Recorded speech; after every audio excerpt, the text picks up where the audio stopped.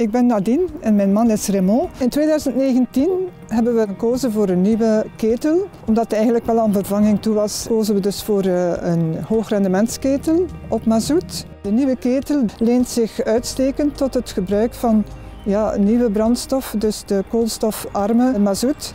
Het grote voordeel van deze brandstof is dat deze drop-in is.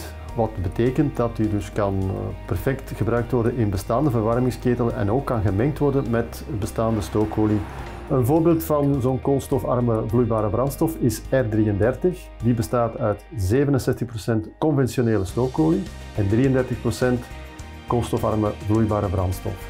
Die koolstofarme vloeibare brandstof die kan tot 90% de CO2-uitstoot reduceren van de verwarmingsinstallaties ten opzichte van het gebruik van gewone stookolie. Daarom zijn deze brandstoffen interessant om te gebruiken in de energietransitie op weg naar een duurzamer en een koolstofneutrale wereld.